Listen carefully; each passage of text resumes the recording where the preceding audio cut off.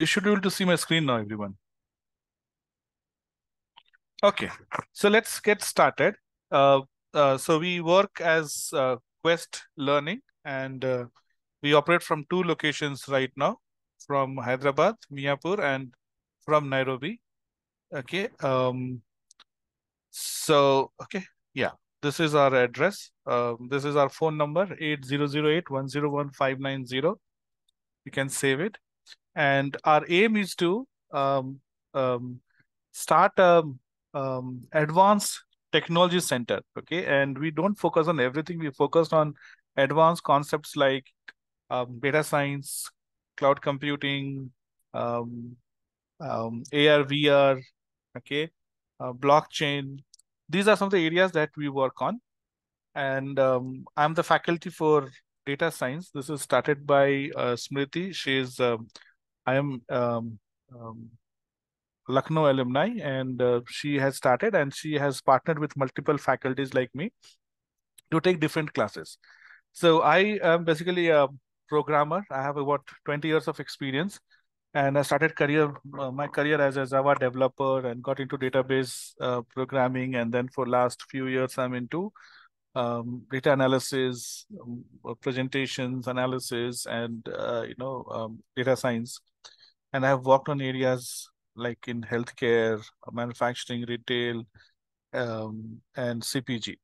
Okay, and I have worked on various uh, in various roles. I'm still working and teaching is my part-time um, passion, which I want to follow. So I do it as part-time.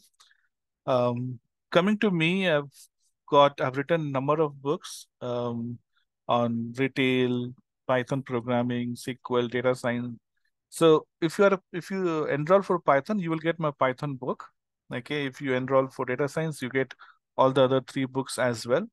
Uh, these three books together covers um, almost everything that we we plan to do.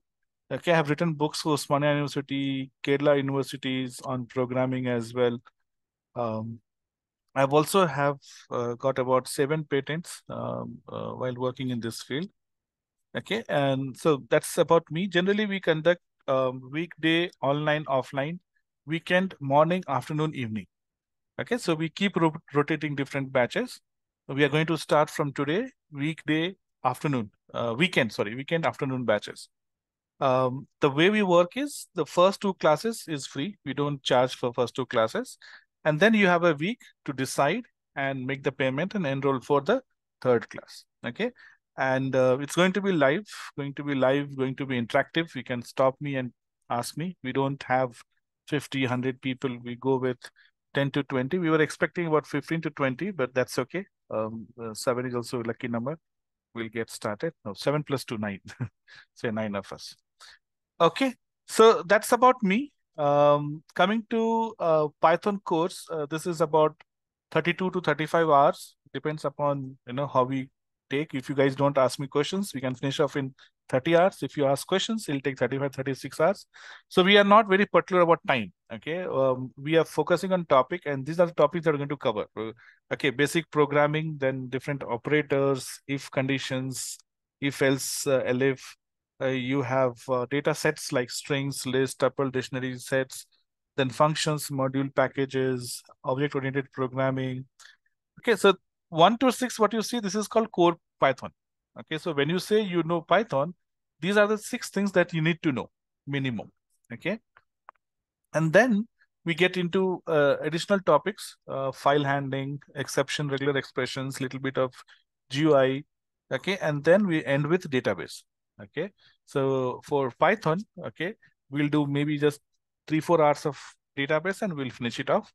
And for those who want to get into data science course, we extend database. Database itself will be another 20 hours of uh, course, okay, where we will get into details like how to install MySQL, work with MySQL, Postgres, um, perform various um, operations, like we said, uh, CRUD operation, right? Create, read, update, delete. So we'll see uh, how to perform select, insert, update, delete on all on the database.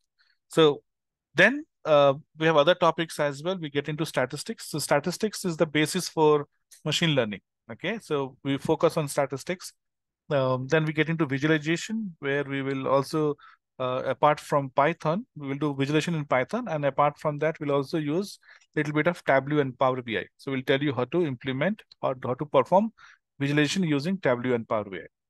We'll also expose you to R programming, not much, but little bit uh, exposure to know that those, uh, you know, Python and R are the main programming for machine learning. In fact, R is even simpler than Python for machine learning. But we focus mostly on Python because uh, if you look at terms of applications, Python has much wider application. Okay, you can use it for web development, in networking, and various other stuff. So that's why we focus more on Python. But just to tell you that, you know, this is how Python works, we will also go a little bit about um, R programming as well. Okay. And then the last part is machine learning. Okay. So we, uh, so once we are done with statistics, these are the foundation for machine learning. So Python is like a tool. R programming is like a tool. Statistics is the foundation, right? Uh, all the algorithms are based on statistics. Then database, because you have to connect to data, we have to work with database. So that's why SQL is also included and data visualization. So that's the, when you actually work on data science, you know, the, the last part of your work is to present it to your management. That's where visualization comes into picture, you know, Power BI, Tableau. And the core of machine learning is the machine learning algorithms. So that's what the eighth topic, which is machine learning algorithms. And this goes on for almost like 80 hours. Okay, so this is not something that you can finish off quickly in a month too. This is something that where you have to need to maintain your um, enthusiasm for almost four to six months. Okay, this this takes time. Okay, so you need to maintain your enthusiasm. And then uh, we also have third module uh, for those who want to um, advance, uh, you know, their career in data science. And mostly I recommend this for anybody with more than five years experience. So generally fresher may not get into this, okay? But for experience, we do recommend that go for deep learning course as well. So this is another like 25 to 30 hours of course. So we have to cover data science and then get into deep learning. This is like an additional module. Okay. So this is about the course. Any, any question guys here about the course? Anything that you wanted to uh, know? Because this is more of a doubt session first day. Okay. Uh, today I'm going to talk about what the course is, what we are going to do, how we are going to do, um, how to install different software. And um, uh, if we get time today, so then we'll start today or tomorrow it will be full uh, hands-on, uh, which I have planned. So any question, guys, on the phone or here in the room? So you are interested in Python, right? So it will be course one. Yes.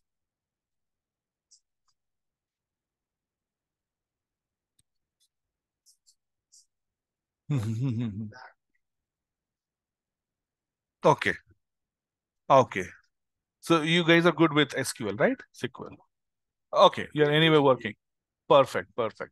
So I think the last module will be very helpful, uh, you know, uh, in the course one, the database, okay? We'll see how to connect directly to different databases from Oracle, uh, from Python.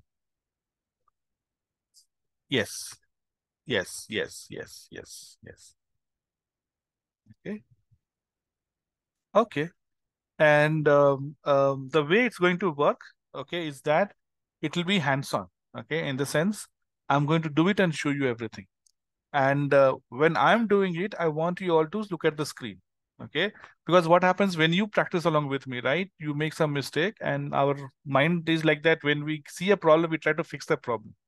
So if you get a problem, you'll start fixing your problem and you'll miss what I'm saying. So every session will be recorded recordings will be shared. We'll create one um, blog page where all the code and the recording will be shared with you. And those will be on YouTube and hidden like, you know, it will be in that uh, mode where people can only private, not private. It's called uh, protected mode or something. Anybody with the link can access. So it is on YouTube, so you'll have access for uh, rest of your life and the course content will be given to you. Okay, the book will be given to you. So you have the book and the code that I'm going to do here will also be uploaded on the blog site. So, you know, we'll create one specific blog for us and I'll keep updating after every session. So you'll have that blog along with the video link and the content. Okay, that's how the course is going to be. Um, I'm going to demonstrate concepts using program. Okay. And what I expect is that when you go back, you redo the same stuff. Okay. What I do in the class, you try to redo the same stuff. And generally, what I'll do in two hours probably can do it in 45 minutes. Okay. Or uh, because I'm going to describe, talk about it, and then do the course, right? So it's going to be longer. So 45 minutes of practice and another one hour of uh, maybe doing additional. I'm going to give you um, uh, assignments as well. And those assignments will be easy to little above average kind of thing. And I don't give, I don't have solution for assignments. I don't give solution for assignment. If you want, if you have a doubt, I want you to try and then give me your code. I'm going to modify your code to help you understand the assignments. Assignments are for you to work on, not for me to work on, right? So you have to make the first attempt. And then if you have any questions, I'm there to help you. Okay. Um, you can, um, uh, you know, you can have your friends uh, involved and you can probably sit together and discuss and do it. It's up to you. And I also uh, will have um, code, uh, one project for every topic. Okay. So for Python, we'll have one topic for, uh, for project work and uh, uh, that will kind of uh, test all your knowledge in Python. So for those in Python, we'll have one. Those in machine learning, you'll have about eight different projects apart from the programs that we'll do in the class. Okay, and those who are we don't provide uh, placements. We we we don't uh, get into that kind of thing. Uh, but if you need any career development kind of help, support, um, you know floating your resume to different companies we have a team okay?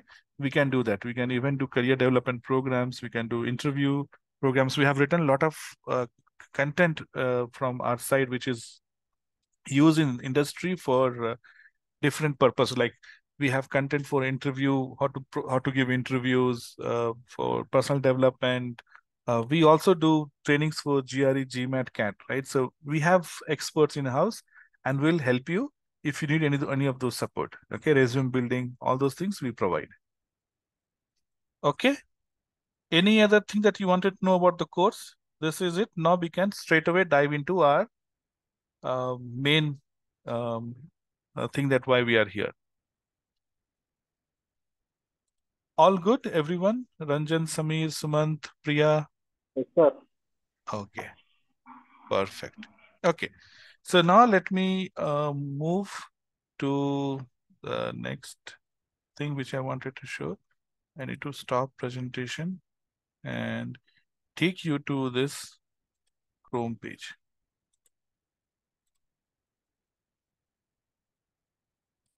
Okay, uh, let me share my screen again. Okay, you should see my Chrome page. So first, next couple of months, we'll be talking about Python, right? We'll we'll see what Python is and uh, how to use Python. But before we get into uh, Python, right? What is Python? What do you know about Python? What do you understand? What's your idea about Python? Mm -hmm.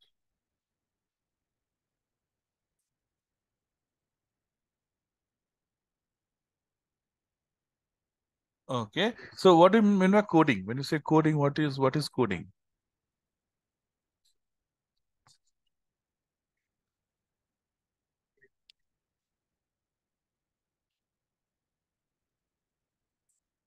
Right. Correct. Correct. Correct. So uh, see, um, um, we have machine, right? Machine in the sense, whenever I say machine, it's computer. Okay, it's computer. So when we have this machine computer, I need to talk to it. Now, as you said, right, machine can do faster than us, right? We, we probably can look at 10 rows and machine can probably do thousands of rows in, in seconds. So they are faster, better. They can work 24 by 7. We know all those features. But the problem here is how do we make it work, right? If you can program, if you can convince or you can tell your machine what to do, they can do it.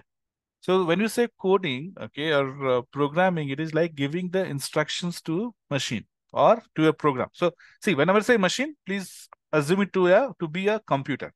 Okay. So we are instructing machine to do that. You know, the basic kind of machine is like bulb, right? You have switch off and switch on. When you switch on, it glows. When switch off, it goes off. So any machine, any electrical device understands only two things, zeros and one. Okay. Zero is power off and one is power on. Any machine, whether it's bulb or it's computer, okay, or you can have a robot, they all understand just zeros and one. And we we speak our own language. Okay. We we have our natural languages like English, Hindi, and things like that. Now, machine which understands the zeros and one, okay, and we understand English, there's a communication gap, right? So these programming languages are meant to remove that communication gap. So if, if let's say, if I only speak French, you speak only English, we need somebody in between to translate what we are saying, right? We need a translator. We need an interpreter. Okay. We need an interpreter, right? Which will take your English command, translate into my French commands, and my French command will be translated back into English for you. Programming languages, whether it is C, C++, Java, and all those things, they are all interpreter. Okay they they are they behave like interpreter. So here we have two concepts. One is interpreter, other is compiler. Interpreter does line by line translation and compiler does entire code translation. Okay, so in the sense, let's say if you have to tell me few things, okay, and there's a translator in between. So there are two ways for the guy to translate. One, you speak one sentence and this guy will translate. You speak second sentence, this guy will translate. Third sentence, this guy will translate. Second option is you finish speaking. You know, if you have 10 sentences to tell me, you finish speaking 10 sentences, then this guy will translate all the 10 sentences. Okay. So when we write our commands in English, compiler will wait for you to finish all your 10 lines, 20 lines, 100 lines, 500 lines, 1000 lines of code. And then it will translate those 1000 lines at one go. Okay. Interpreter, they do line by line translation. So your Python programming, R programming, SQL, these are all interpreter. They work line by line. But when you go to procedures, stored procedures, okay, C++, Java, they're all compiler-based programming languages. Okay.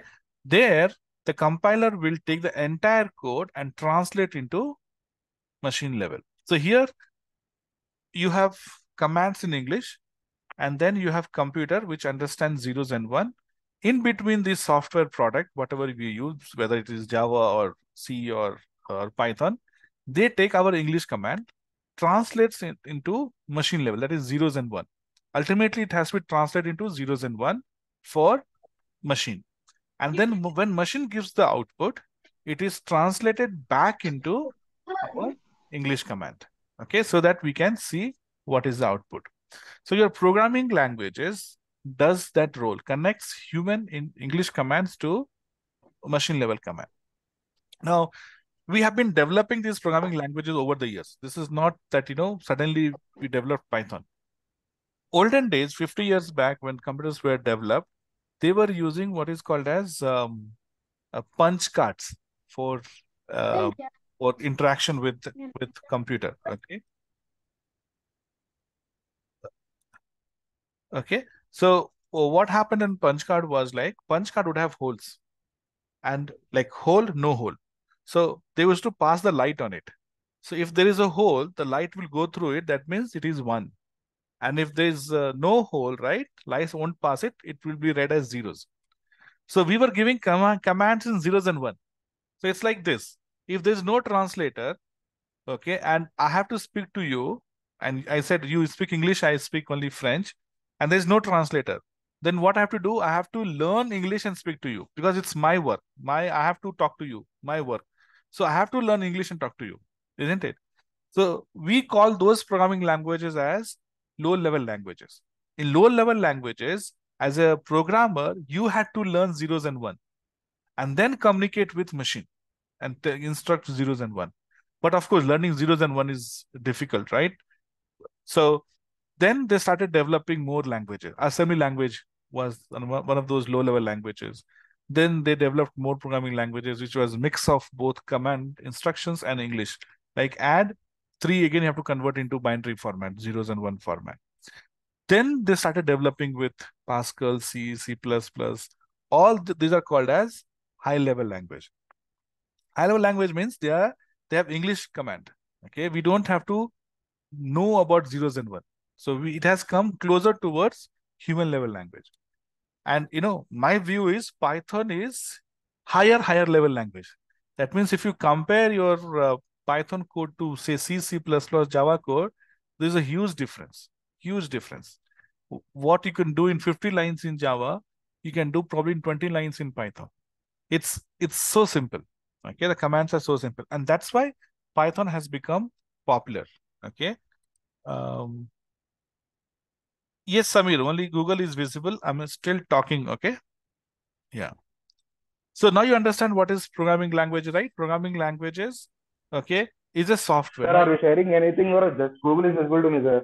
No, no, listen Only to Google me. is visible to me. Are you sharing Listen to me, listen to me, Samir. Okay? Can you hear me? okay. Yeah, I can hear you, sir. Yeah, perfect. Now, what is hardware and software?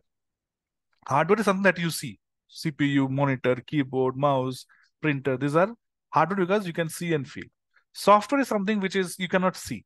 Okay, which makes this hardware work. Okay, it's like this. You know, your body is like your hardware, and your what do you call it, the life that runs your body is your software.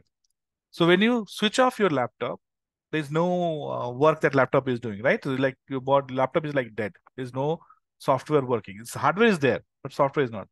When you switch it on, the first software that boots up is called firmware. Firmware are your hardware-based software. Okay, that comes with hardware. So every hardware will have some software. You talk about printer. Printer also has a software which you need to install. So only that software understand how printer works. Okay, so that's called firmware. So we have, uh, you know, we have motherboard, we have um, CPUs. So they all have firmware, and when you pass electricity, give power to it, those gets activated, and they launch what is called as operating system. So operating system is main software that will make your laptop work. Now, beauty of this uh, software operating system is okay is that it is like a layer between our us and computer every hardware has a firmware okay? So every hardware will behave differently but os is written such a way that it can handle multiple firmwares. So we don't need to know i don't need to know what version of cpu i'm using or what version of hard disk i'm using. Os will manage it. Os is a layer between your hardware and what we do on top of it. So OS, without OS, your system will not work. Any software, any hardware you talk about, you need operating system. Operating system is a layer it's that will make your hardware work. Okay. So when you talk about I'm a I'm a software developer, then you ask them, are you developing firmware, you are developing operating system, or you are developing applications program. Okay. Most 90%, 80% people they work on application development. Okay, so you have operating system, which kind of creates a layer between hardware and you. And applications, I need to use uh, Windows, uh, or let's say Windows is operating system. I need to use Microsoft Office. So Office is an application which sits on your OS. Okay, I need to use Google Chrome. So Chrome is an application which sits on operating system. Same thing with your mobile phone, right? If you have Android phone, Android is the operating system. iOS is an operating system. Without operating system, your mobile will not boot. You need Android to boot. Now, on top of that, you can install multiple apps, right? What we call apps is application basically, and your operate your Office, um, um, Chrome. These are all applications.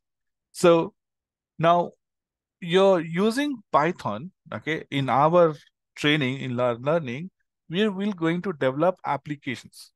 Okay, we're not going to develop firmware. We're not going to develop operating system. We are going to develop applications which will interact with OS and then through OS, it will interact with other, other like if you want to connect to database, through operating system, it has to connect to Oracle database or MySQL database. Okay. So we are going to develop application software. So you have application system, application software, system software. System software is like your firmware, which interacts with hardware. And then you have operating system. Okay, so those are the software and to develop application software, we need to connect to computer we need to understand uh, and give instructions to them. Okay, so as I said, Python is one of the high level programming language uh, through which we will interact with computer. So this is about Python. Now to work with Python, you need to install Python, right? You need to install Python. Um, now again, um, you know, you don't have to install Python. Okay, uh, so I'm going to tell you first to how to create a setup on your machine. Okay, but you don't have to have setup on your machine. Uh, Google has something called as Google Colab. Okay, so if I'm going to show you, this is called, or in Google, just type Colab, C-O-L-A-B. Okay, and if you click on Google Colab, you will see here it says research.google.com. Okay, so this is the product of Google called Colab, and it will open a colab.researchgoogle.com. Now, it needs your login ID password. Okay, you need to give your Google login ID password because my password is already saved. It did not ask for me. And here I have to say new notebook. When I say new notebook, it's going to open notebook for us. Okay, notebook is where we will do our Python program. So this is where, let's say your laptop is old, uh, you have only no, you have only tablet, you don't, you don't have a laptop or desktop, then use Google Colab, you can directly use your program here. And the files are directly saved in your Google Drive. Okay, files will get saved also in Google Drive. So you don't have to worry about saving the file. So it opens Google Notebook and this is the file name, Untitled 12. I can rename it to say Prog 22 July 23. Okay, so I've given it a name, Prog 22 July 23. Do not give spaces. Okay, it's going to create problem uh, later. So your file name should not have space. Do, try not to give spaces, but you can use anything here. So this is my file name. And this is where I'm going to write my program. Okay, so this is, I told you, right? This is used when you don't have to install any software. And I'm going to write my first Python program here. 5 plus 3. Okay, so I said 5 plus 3. And now I'm going to hit on this play button. When you hit on this play button, what happened? Okay, so first time, see, um, it's a it's a product by Google, right? So and it is hosted in Google's lab. Okay, that's why you don't have to install anything. And when you hit on play, okay, um, it has given us eight. So first time when you use it after logging in, it will take some time. But second time onward, again, if I hit it again, it will be very fast. Okay, it will not take so much of time. So this is a place where you write your program and your output will be shown here. Okay, this is called Google Colab. Okay, I'm going to do one more thing here. I'm going to say print, okay, 5 plus 3 and also print 5 plus 3. Okay, now you see this. I have used print 5 plus 3 and I have not used any quotation, right? Now print is our first command that we're going to learn. Print in uh, Python is called as function. Okay, print is called function. What does function mean? Function means that it has a predefined meaning. When I say switch off phone or switch off laptop, I don't have to explain you, right? You know what it means because you, you know, we all understand what is meaning of switch off laptop. So print is like that, okay? Python already knows what print means. Now, how can Python know? Python is machine. So developers of Python who has developed the Python, right? They have created a function called print and it has already defined the meaning of print for Python. So this is called as inbuilt function. Inbuilt function means when you download and install Python or when you start using Python, that function is already created. Okay. In our work, we will learn to create our own functions. Okay. Just like if they have print, we can create our own function and that is called as uh, user defined function. So you have inbuilt function and you have user defined function. User-defined functions are the functions that we will create ourselves. Okay, inbuilt functions are functions which are developed by or written by developers of Python, which comes with pre-installed. Okay, so when you install it, it's already available. We don't have to do it. Okay, so print is the function. Now, every function, okay, has to start with simple bracket open and close. So if you see here print, it has bracket open and bracket close. So whatever you have to do with function has to be within these two brackets. Doesn't matter whether it is inbuilt function or our own function. When we define our own function and when we use our own function, even there we have to use bracket open and close. So if I tell you print function, okay, okay, um, you have to say print here. This is how this is how print is completed. Now within this, what you do is your logic. Now, what I have done here, I have said print 5 plus 3. Now, when I run it, okay, you say here 8. Okay. Now, what happened? Okay, let me delete it, not to get confused with it.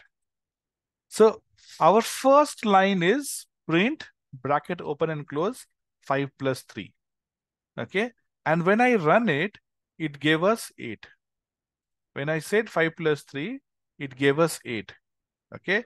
It means that when you give something in bracket, within the bracket, it prints onto the screen. So the functionality of print function is to print it onto the screen, something that we can see. If you want something to be shown onto the screen, we have to use print. Print shows onto the screen. But how does it work? You said 5 plus 3. Now, 5 plus 3 is, okay, the print is evaluating and giving you the output 8 here. You see, the first line and this is the first output. Now, in second line, when you say 5 plus 3 in quotation, it is printed 5 plus 3 as it is. It has not evaluated. Okay, so understand this. Print is a function that is used to print your content onto the screen. Point one. Point two, when you do not give in quotation, so I have used double quotation here, right? When you do not give in quotation, it will evaluate. It's like I'm telling Python, please give me the answer for this. It's like asking you, what is 5 plus 3? If I ask you what is 5 plus 3, you will say 8, isn't it? So I'm asking Python, print 5 plus 3. So Python is saying, okay, printing 8. Now here, it's like saying, repeat after me 5 plus 3. Repeat after me 5 plus 3. You will not tell me 8. You will say 5 plus 3. So Python is printing you 5 plus 3. Okay. So print will have things which is without quotation and with quotation. Okay. Without quotation means you're asking it to evaluate and give you the value. With quotation, you are saying it to not evaluate, but give you the value as it is. Okay. So print 5 plus 3 without quotation is evaluating. Print with quotation is like giving you the outcome.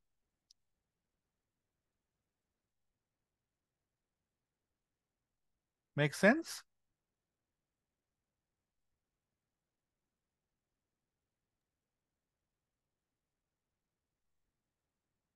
One second.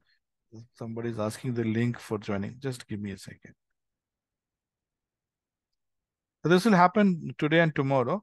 Okay. And um, it shouldn't happen from next week when we know exactly who all are there.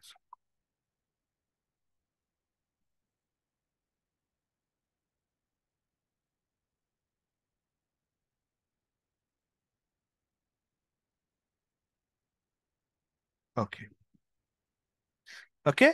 So, so we have learned two things here, right? We have learned how to, okay. We will, we have learned two things here. We have learned print, okay, function, which is inbuilt function, and how to pass values to the print, okay? And this is how, uh, let's say if you do not pass anything, see the line number three, I did not pass anything. When I did not pass anything, it did not print anything. It didn't print anything means it printed a blank line. Okay. So print will print a blank line. So if you want a blank and nothing, you give nothing and it printed nothing here. You see? If you want to see the output, if I delete it, okay. Yeah.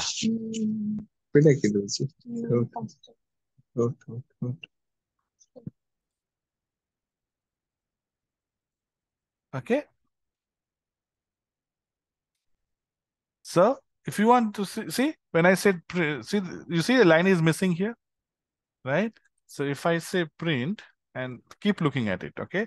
That gap between 5 plus 3 and this last line has increased, isn't it? Because it printed a blank, because I did not give anything to this print. Okay, so this is how your um, uh, Colab will look like. And you can do your program here. So this is for those who do not want to install any software, directly want to start programming from day one. But if you want to have setup on your machine, okay, there are few extra things that you have to do, few additional things that you have to do. First thing that you need to do is go to python.org. Okay. Ah,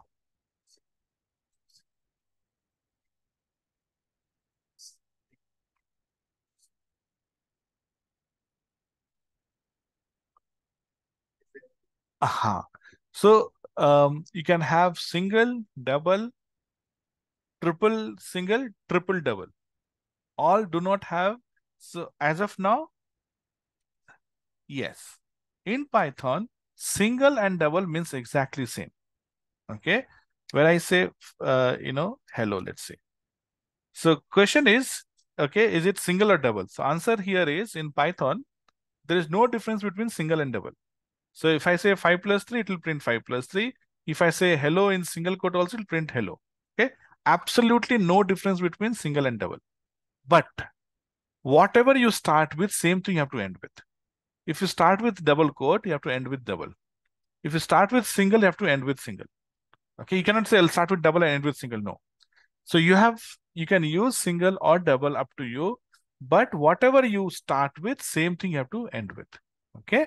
And we'll learn more about this when we go to string, which probably will be after a couple of classes. But for now, there's no difference between single and double. Okay. Okay.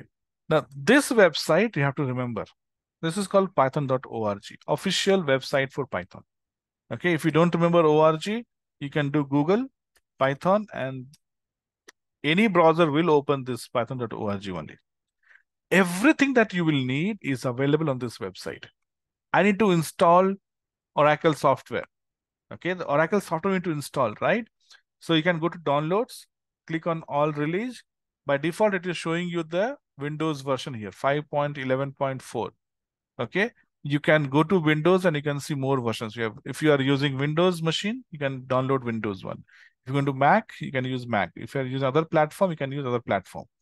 Okay, so if you're using Windows, you can directly click here and install python.exe or you go to Windows and give you all the options and then you can download the version. So this is Python 3.12, 3.10.12. This is 3.11.4. Okay, whichever version you want to use, you can use. I'll tell you when we talk about installation of software, but okay, Python is another beauty. You can have multiple versions of Python on your machine. Very rarely you can have two application uh, of different version. But Python, you can have multiple version because Python does not work at global level. That means at your computer level. It works at local level. So when you install Python, it creates a virtual environment in the folder where you install it. Okay, so the effect or the um, the impact of Python is only in that folder, everything within that folder outside that folder will not be able to use Python. Okay. And because of this, what happens is, now let's say if you're working on multiple projects, you're working on three different projects, and all three different projects uses three different versions of Python. Okay. So you don't have, so, you know, it happens, right? You work on multiple projects in your company and all three uses different versions of Python. You can install all three different versions on your Python of your machine, uh, on your machine without any problem. You're working on a project A, you can use 3.7. Project B, 3.9. Project C, 3.11. you can switch your version of Python as and when you work on that specific program or specific application. So that is also, you know, uh, possible and we'll talk about it in some time, today itself in some time. So I told you how to download Python, right? Go and click, okay? You can click on it. It'll, it will download .exe version. If you want to see the source code, Python is open source, uh, open source application. That's why it is free. There is absolutely no charge for downloading Python. You can actually even see the code of Python. You want to see, you know, what, what is the code source code you can see. So Python source code is available in three different versions. Okay, original Python was written in C language. Python programming language was written in C language initially. Now you have a Java version also and .NET version also, C Sharp version also. So C Sharp, Java, and uh, C. So there are three different languages in which Python is written, and you can actually download and see this uh, code here. You want to see the code of Python 3.10.5, you can download and you can see the code. Okay, so this is to explore source code. Okay, and this is to download it. So download, you can download the source code or the release version. Release version is the exe version which we need to install for working for working with Python. So you need to download and install. Um, okay, I'm going to, um, I'm not going to show you how it is done on machine because I already have multiple versions of Python installed, but I can tell you the steps how it is done. Okay. So if you go, yes, yes, of course.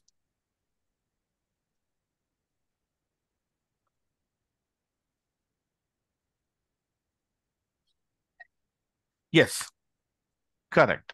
So they keep up, so there are people working. See, it's an open source, right? Open source means everybody, you and I can contribute it, contribute to Python. So there are many people working and they're adding new features every day. Okay, so every six months, what they do is they take new feature and update. So it started with Python 1 first, and they added some features. When you add lot of features, Okay. Um, there's no fixed meaning of lot, but lot of features, it become Python 2. When you again add lot of features, it became Python 3. Okay. And then you have Python 3.0, 3.1. If you add small features, it becomes 3.1. If you add, again add few features, it becomes 3.2. Again, if you add small feature, it becomes 3.3. So uh, we call them as release, release version. Python 1, 2, 3 is called release version. This works with any software. Then you have major version, 3.8, 3.9, 3.10. This is called major version. Then you have minor version. You saw 3.10.5, 3.11.2, 11.4. These are called minor version. Release version, major version, minor version. Release version is when you add a lot of features. It becomes a release version. You change it. You know, it's it's like um, uh, sometimes we say, right? okay if somebody changes the look it's a new version that means completely changed so you add lot of features becomes if there's a lot of features that gets added to python it becomes python 4 so python 4 will be lot more different than python 3 that we are using but if you add two new features two three new features it becomes major version change minor version is when you are there's some error you corrected some error so you have your work is not like if you talk about 3.4 and 3.5, there will be some change. But if you talk about 3.4.5 and 3.4.6, 4.5 and 4.6, there will be some correction that you have done. You have not done enough, you have not added enough to it. Okay, so again, let me go back and I'll show you this.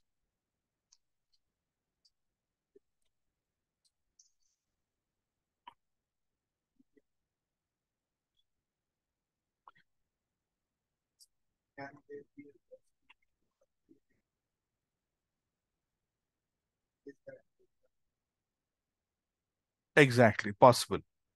It is possible. Now, if you do a program in 3.10, it will definitely not work in Python 2. And if you've done a program in Python 2, it will not work Python 3.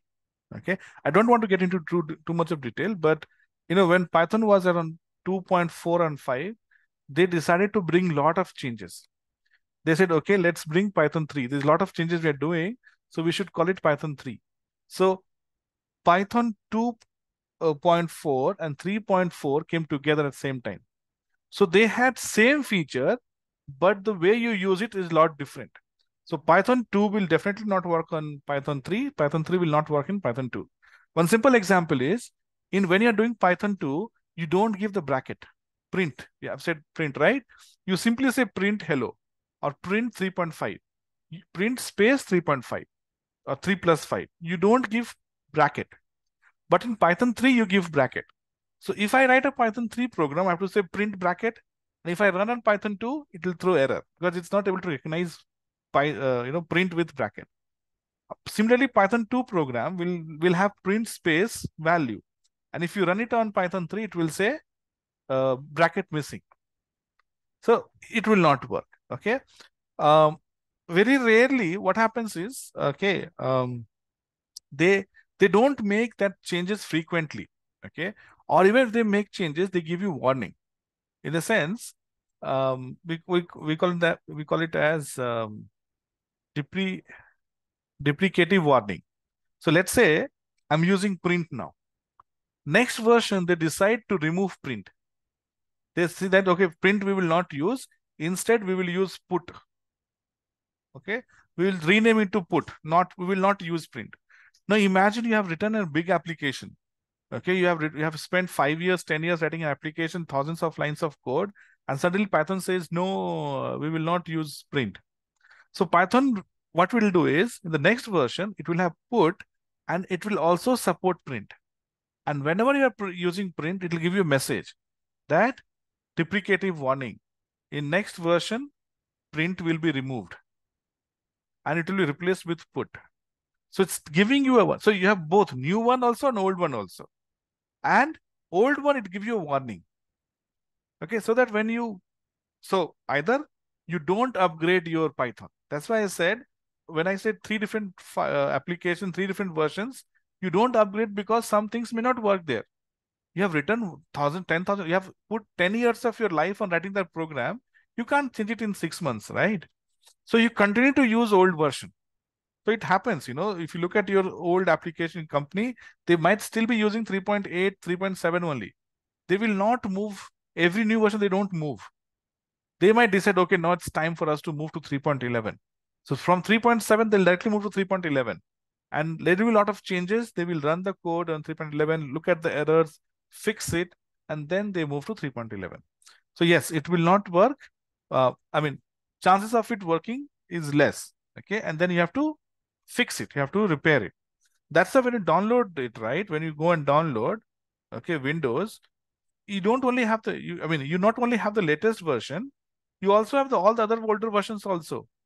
Because if your program is very old, you can download the old version and still work, right? You can even download version 3.4 here.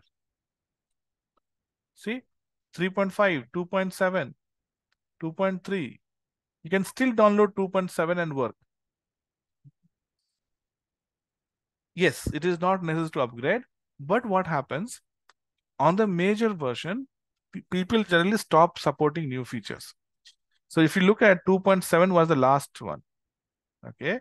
So if you are using Python 2, you will not get the features of 3.5, 3.4. They added new features. You will not have access to it. If you need access to new features, you have to upgrade to old higher version. But if you upgrade to higher version, things will break. Yes. So Python 2 gave warning almost seven, six, seven years back.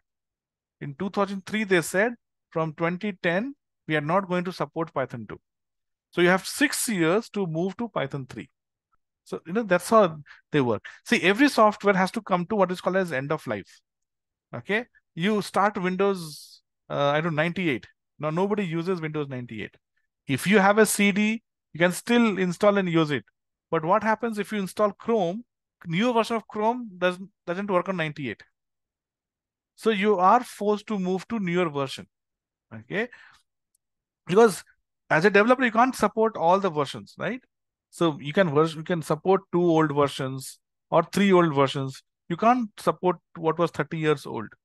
So even if you have 98 now, you cannot use because other applications does not use 98. You have to move to at least Windows 7. Now, most applications are not even talking about Windows 7. They're talking about Windows 8. Anything older than Windows 7 will not work because Microsoft has also given up the uh, upgrade and things like that. Okay.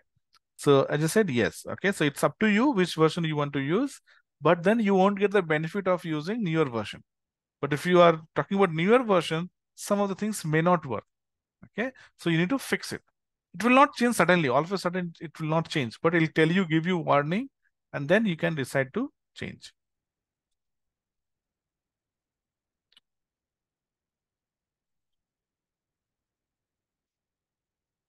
Yes. Exactly. Exactly. Exactly. Okay. That's a, because now let's say already your application is on the on the cloud and you know uh, your client is using. Now you need to change it, right? So you let it be running, and again you can install any version uh, on the cloud. You can install 2.7 also. So application is running on 2.7. You keep modifying when you're happy, when you're ready to launch in 3.10, then you replace that with the newer version. So yes code exactly so it, it, depends upon like how much code you have if you have thousands of lines then you can't do it overnight. You need years again to do that. But if it is few lines of code it's easy to do that. Okay? Okay so this is uh, how it. Downloaded now i'm going to show you how to install python okay? Th this is the step of installing python okay? Um because I, okay there's a video here. You can watch this video. One thing i wanted to show you here is when you download and double click, it's like installing any software. Okay.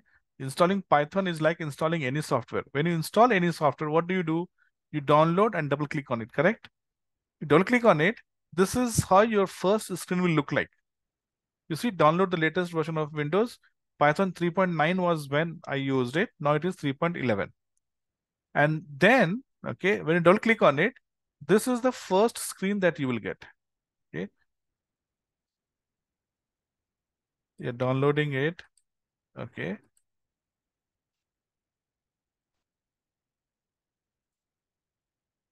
Once you download it, okay, now you see this. This is your first version. Okay, first screen, sorry. Okay, and when you go to this first screen, okay, you will get two options at the bottom whichever version you are using. Okay, you see these two options here. Install launcher for all users and add Python to path. Okay, so okay, you can click. So recommended is you say all users and also add to the path here. If you add to the path, then in future we will not have any problem. Okay, so what happens is there is something called as environmental variables okay in windows and all this how does python know that you have a you have installed a software when you install a software that variable goes to the environment variable and is saved there if you do that if you say add python 3.9 to path the python path where you're installing python will go and get added to the environment variable so when you say python from anywhere it will launch the Python. I told you, right? Python has a virtual directory. Okay, when you install it, it is only limited to that. So if I call Python from somewhere else, Python will not be called. So instead, what we do is we add this path to the environment variable.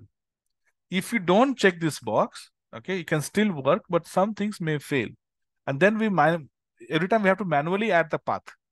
So better is that you check this box add path to path 3.9 to path or 3.11 to path. Okay, this is recommended. So in future, you will not have any problem connecting to any other applications or software because 3.9 path will be there. Now let's say you install 3.9 and then install 3.10. Again, you say add path.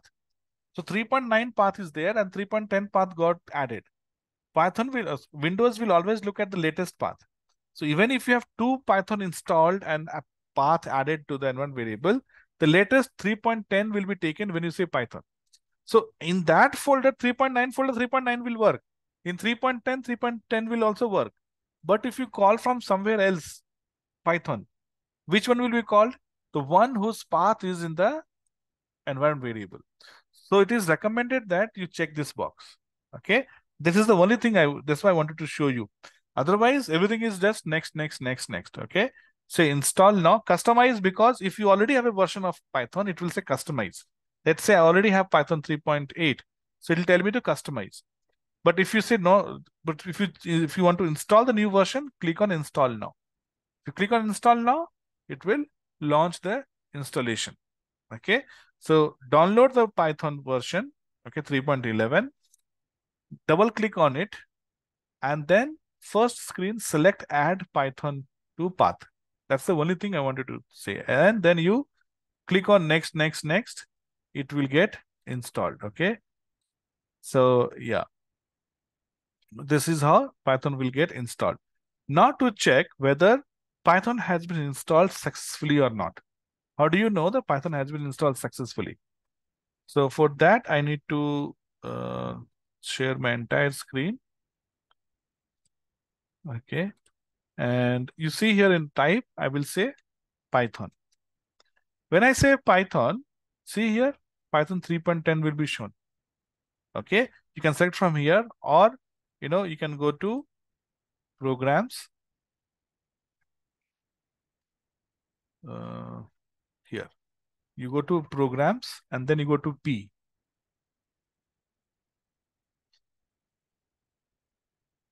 Py, Py Python, Python. Here see, Python 3.10 and you expand it. So these are the files you will see. You will see docs and manuals. These are the documentation. Okay. If you want to learn more about Python, you should, I'm going to uh, I'm going to talk about documents. Uh, you know, every time when we learn about something new, I'll show you how to use documents. Okay, so uh, you know, documents is where Python is a very well documented language. In the sense, you know, it talks about everything is very well documented. All things are available here. So that's why we say very well documented language and everything that we want is available here. And I'll show you later how to find it as well. So this is Python 3.10 EXE and this is called IDLE. Okay, uh, development uh, language, uh, um, uh, development. Uh, it's like integrated development and learning environment. Okay, I'll tell you what it means. But before that, this is the key. This is must. Other three things, if you don't have, also fine. But this has to be there. Okay, this is your what we call as interpreter. Right? The software that will translate your code to machine level and translate the output from machine to your language, English language, is this, this uh, you know, Python 3.10. If you click on it, you will see this triple angular bracket. Greater than, right? Greater than sign three times. Okay, when you see this, that means your installation is successful.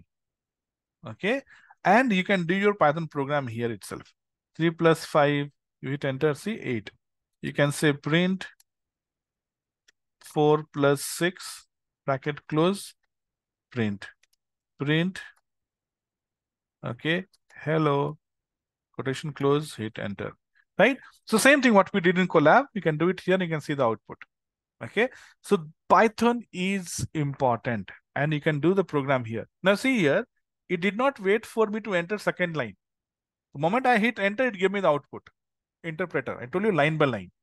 It does not wait for me to enter next line. Okay, you asked, you gave me one line, I will translate it for you. So it translated for us. This is called interpreter, and that's why it is translating for us.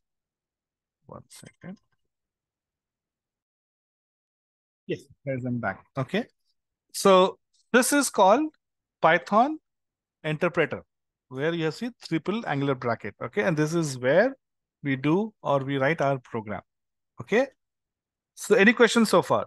So we have seen how to do program on Colab and we have seen how to install Python and use Python prompt, Python shell, Python prompt, whatever you call it. Okay. And you can do programming here.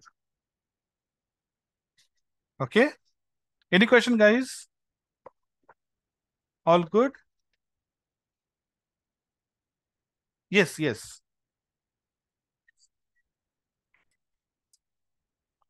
Mm-hmm.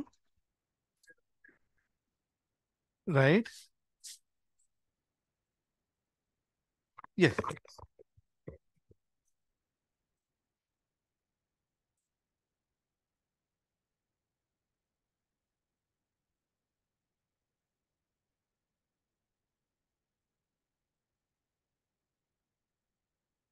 See, uh, question here is uh, difference between interpreter and compiler. See, it's it depends upon the developer. Okay, we can get into discussion about advantages and disadvantages. Both have advantages and disadvantages. Okay, but the developers of Python chose it to be an interpreter. Okay, generally interpreter is supposed to be faster than compiler in execution. Okay, and because of which there are some um, some you know some advantages also. Okay, uh, which we will see later and um, and I will compare with Java and C, C++. Like one example, since you have asked, one example is um, in C, C++, okay, if you define something as number, okay, that will remain number throughout the program. You can't change it. Okay, but in uh, Python, you can keep changing. You can change number to um, number to text, text to number. We call it as variables. Okay. So I'll talk about it when we talk about variables again. Okay. Yeah. Did you understand? Yeah. Yeah. Yeah. Next. Next question.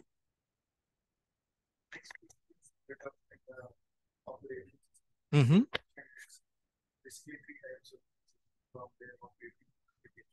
Okay.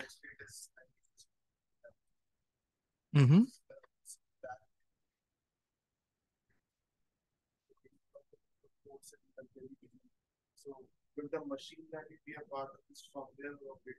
All these are application. Firmware is where you deal with hardware. Okay, so your aim is to make a hardware and that hardware needs to have software. You're building a printer.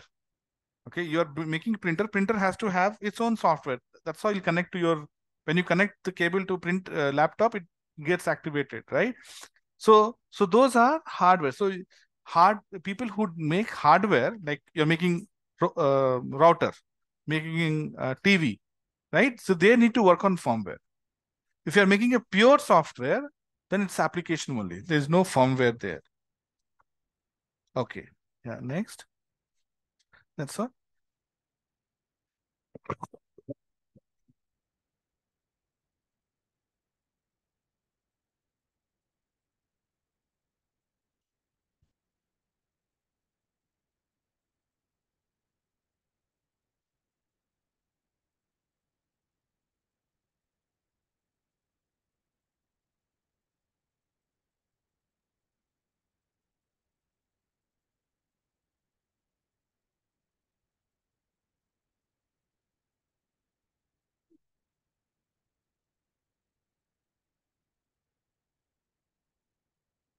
Okay, any, any question, guys, on, on uh, online? No?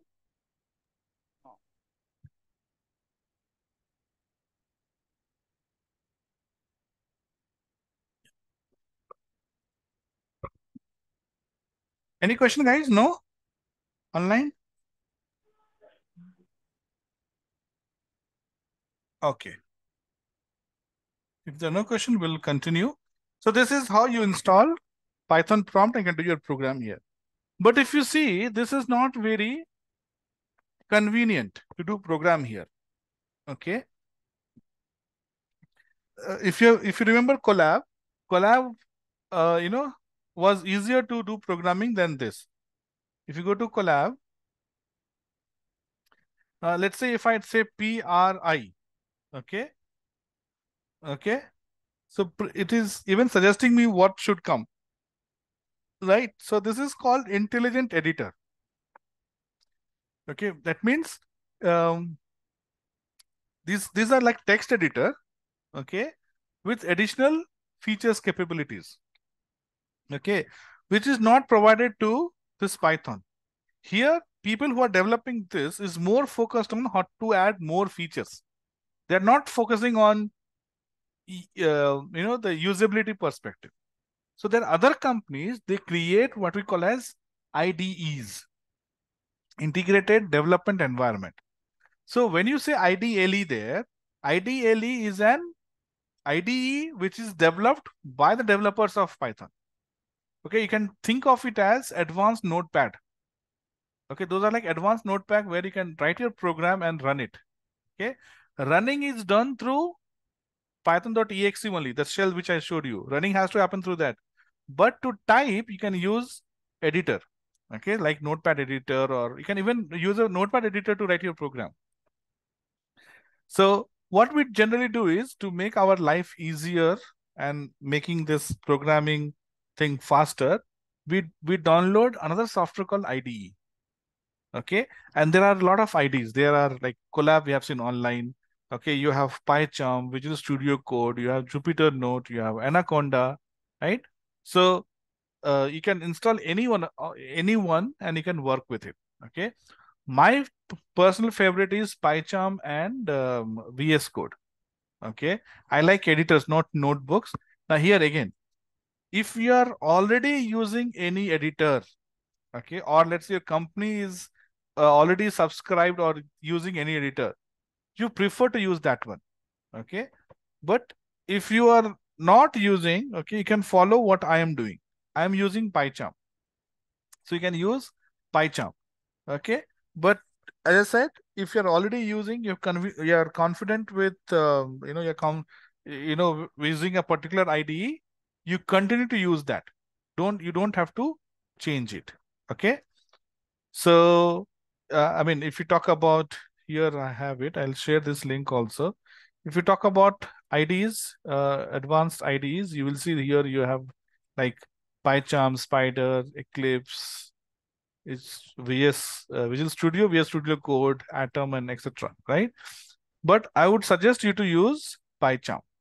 Okay, PyCharm is an editor which is um, recommended by or which is developed by um, JetBrains and it is recommended by most of the people. So you go to Google and say PyCharm download and you click on community edition. So PyCharm has two versions, enterprise and community. Enterprise edition is paid one. Okay, you have to pay money. Community is free. So people who are using it to learn, practice, they say you use my community version. But people who are working to make money, right? So they say, okay, if you are making money, you give me also some, right? So you go and type community PyCharm community edition download. And you click on this PyCharm download option. And here you will see professional, which is in blue button. And here just below that, you will see community edition. So this is the paid one. You get 30 days trial. After 30 days, it will stop working. You'll have to pay money. So don't download this. Okay. Download the community one. Okay. Click on download and install like any software. Very simple to install. Okay, so download this community edition. This is totally free and install it. Now, when you install PyCharm, and if you have added the uh, Python path, Python to the path, add Python to path, right? If you have already done it, and then you install PyCharm, PyCharm it will be able to connect to Python through the path. So that's what I said if you have checked the box, then there is nothing that extra you have to do. PyCharm knows where your Python is. It doesn't have to ask you. But if you are installing PyCharm first and then Python, if you change the order, PyCharm first, then PyCharm will not be able to find path. If you install Python, but you have not added to the path, PyCharm will not be able to know where Python is. Then extra step you have to do is manually you have to connect PyCharm to your Python. Okay. So how does it work? Okay, you download and double click on it like any software. Okay. Again, as I said, you know, I already have it, so I'm not going to do it and show you, but it is like doing any software. Okay. It's not something different or unique. And then you go, okay, and um, um, you go to where PyCharm. Okay. When you, you will see here PyCharm Community Edition. Okay. And probably 20, 2023.1. This is the latest one. And you click on this. When you click on this, for you, okay, something like this will be opened. And don't worry about the color, okay? By default, PyCharm uh, community is black in color and enterprise is blue in color, but you can always change the color and font everything, okay? So because I've already made it white, when you download and install it, it will look black, but that's okay. Don't worry. Content is exactly the same. So when you launch your PyCharm for the first time, it will create a, a screen like this. And it will ask you where do you want to create your Python project? Python project is nothing but it's like a folder where all your files will be there. It's like a folder where all your files will be saved. So you say, you know, you can give your location. Okay, I have given this location. You can give your own location. So this is first thing, creating a folder where all your files will be there in future. And this is where we say you want to create a new virtual environment or use existing environment. It's better you create a new environment for that PyCharm project. So one, you have Python project, uh, Python, which was installed uh, uh, from using Python. And this is environment only for PyCharm. Now, what is the significance of environment, virtual environment? So it's like this when you go to office, okay, one thing is that you don't have a desk to sit. You go and sit anywhere. Versus you have your own desk. Okay. Why do you have your own desk? Why is that better? See, there is advantage of both. Okay. Advantage of first thing is that you reach office early and you pick the best looking seat and you sit there. Right. But the problem is, okay, you can't have your own personal space there right? Let's say some people like to decorate their cubicle and put something there, right? You can't do that, right? But if you have a dedicated space, then you can do that. So virtual environment is like creating a dedicated space. It so in theory, it is not more than saying that this is my folder where my files will be there. This is my folder where all my files will be there. It is just like creating your own cubicle. That's it. Then other advantage is that, let's say, um, every, so what is recommended is every project should have its own virtual environment. Okay, why? Because later you will you will have to install few other things. Now, if you have a one virtual environment and you're doing 10 projects, 10 projects need 10 different things. So you have 100 things installed in one folder. See, Python, if you see, we, okay, um, Python, and as we go along, I wanted to talk about it is why Python is popular today. It's free. And, but more importantly, you can do almost anything in Python. Anything and everything is possible. Whether I said web net, web designing or networking or data science, everything is possible. When you download it, it's about 200 or 3, 250 MB of file how can 250 of MB of file can do everything? So what happens? Your 250 MB of Python is the core Python. It is not capable of doing everything. We have what is called libraries. Okay. And there are thousands of libraries. Depending upon what you need to do, you need to install the library. So when you install your Python on day one, it might look just 300 MB file. But if you work it work on it for one year, it might become 1 GB of file. Why? Because you are pulling different packages and that package are getting installed. So it's like, it's like, um, um, I'm thinking of an example. Let's say you go and you buy um, car without features. You go and just buy four wheels. Okay, why? Because I don't like ready-made shape of the car. I want to make my own shape. So you go, you buy four wheels. Then you go and buy uh, you know, headlight, whichever design and shape you like, right? You keep going, keep making, keep getting, and then you build your own car. Okay.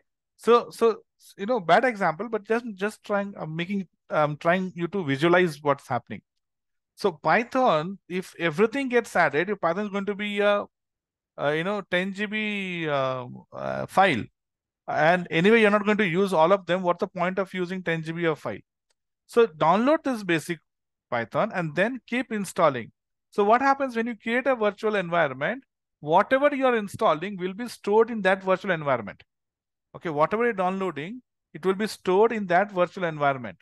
And when you keep in that virtual environment, okay, tomorrow or let's say later when you want to move from one system to another, or you want to create an executable which will be used later, you know what exactly you have.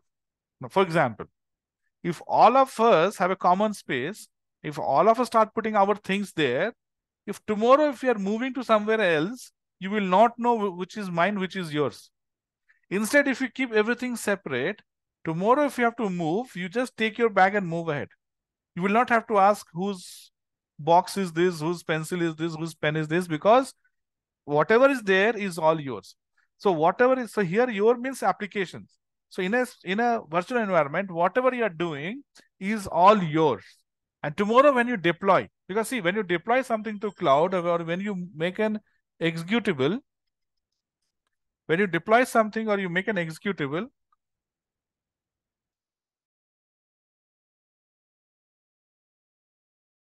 okay, so you know exactly what all things to pull from your system and put it on cloud. If you have 10 different applications connected to one folder and 10 using 10 different things, you have 100 um, libraries which you have installed. And now if I move to cloud, I don't know which of those 100 are 100 should I move. If you move all the 100, it's fine. Okay, you can have more than what is required. But imagine that you're occupying so much of space on cloud. And cloud, every space and for every bandwidth, you are paying money. Right? So you want to keep it as minimum as possible, as less, as small as possible. So virtual environment is like creating a specific folder for that particular application only. So it's recommended that whenever you're doing a real project, every project should have a different virtual environment. So it's like this. Oh, I need to know what all things this project uses. Go to the virtual environment, you will be able to get it. So when you talk about deployment, probably we can talk more about it. But keep in mind that it's always a good practice to have virtual environment, okay, environment which is limited to limited to particular application. Okay, it's like having a different house for each application. So anything related to that application, you go to the house, you'll find it. Then keeping one house and making it a place for all the 10 applications. So always you say new environment. And then here you give the path. You see base interpreter. So which interpreter you want. So it will pick automatically from path, right? It will pick automatically from the path.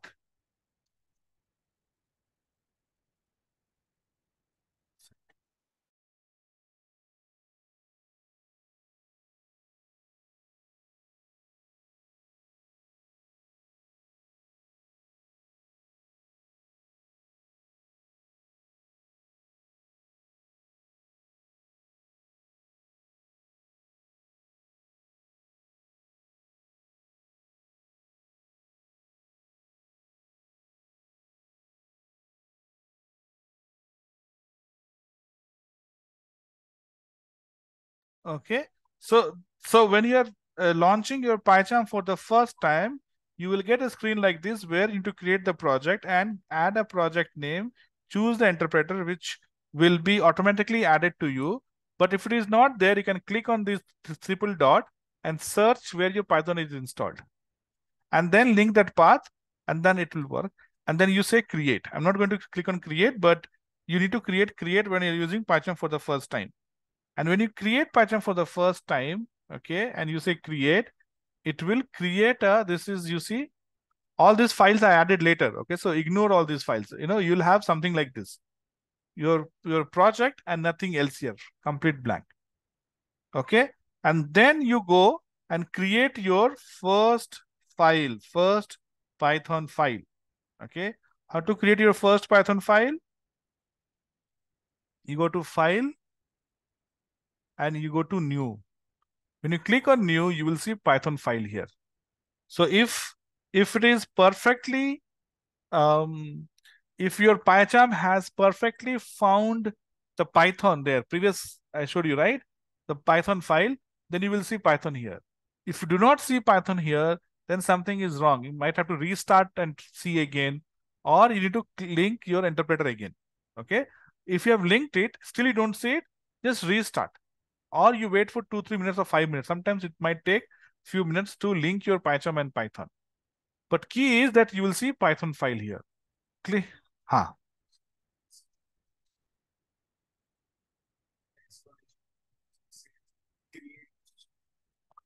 Correct. You can you can check it. Yeah. See, create association means let's say if you already have Python file on your machine, it will link those to the yeah. Existing, yes, ex exactly. So let's say you know if you're uh, if you're already using it, then you know uh, it will link those existing project also. Let's say you installed it, uninstalled it for some reason. now Again, you have installed it. So the old projects will automatically be linked. Okay. Any questions so far, guys? Okay, then here you can say P1, P5, P51, whatever, and you say Python file here. And this is where you can give the file name. Now you see, okay, I can say here print 3 plus 5. Is this better? The font is a little bigger, right? Yeah. So print 3 plus 5, print quotation 3 plus 5. And first time you have to right click on it and say run the file name p15 whatever we have given. And the output you will see at the bottom. This is PyCharm. Left side you have Explorer, right side you have Editor, and at the bottom you have the output.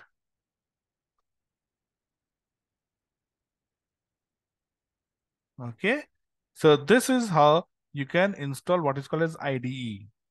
Okay, so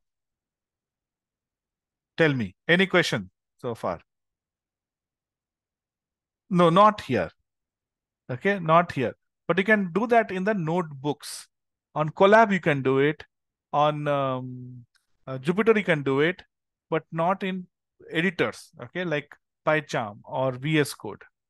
So what you can do is if you want to uh, run only one line, you have to maybe comment this. I'll tell you what comment is in some time.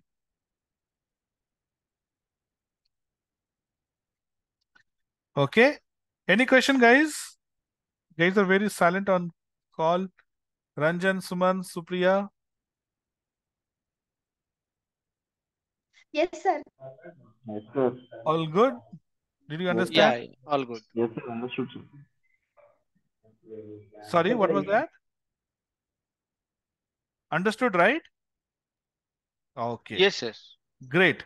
So Yes, today sir. we have seen what Python is. So far, we have seen what Python is. We know how to program in Colab. We know how to install Python. And we know how to install PyCharm now. Correct? And um, um, and we'll stop here for today. Okay.